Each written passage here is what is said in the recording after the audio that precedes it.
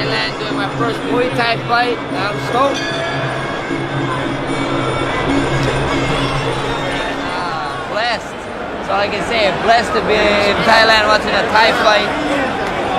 Man, blessed to be in the UFC. This is exciting. I would love to fight in front of these Thai people, man.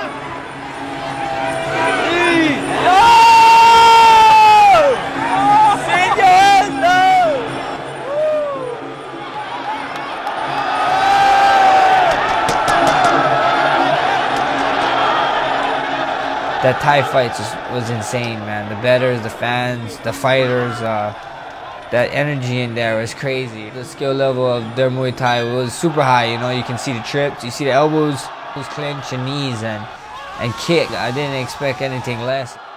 My first night in Thailand, at the time of my life tonight.